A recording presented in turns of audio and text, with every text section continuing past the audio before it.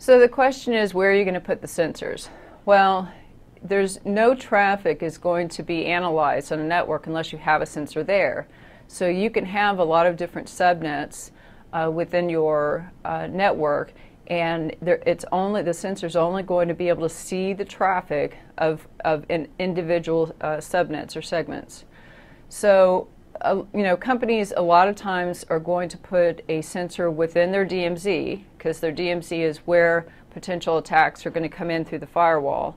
Now, some companies decide to put a sensor outside their firewall. And why would they do that?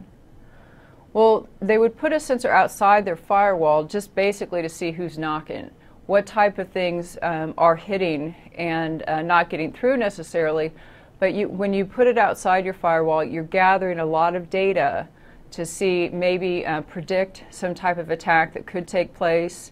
So if you see, uh, if that sensor sees uh, scans, IP scans, and it sees some port scans, uh, it could determine, it could have this information together, and you can uh, deduce that there's probably going to be an attack within three days, because that's how it goes. Once you see a port, once you see a, a scan on the IP addresses, port scan, then at least within three days there's going to be some type of attack. So if the sensor's outside the firewall, that's because they want to gather a lot of information about potentially what can uh, take place.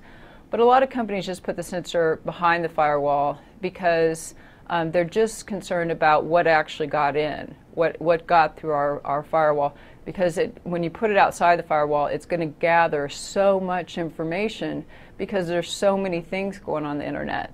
There's so many scans or so many attackers trying uh, several different things, so it's going to gather a lot of data.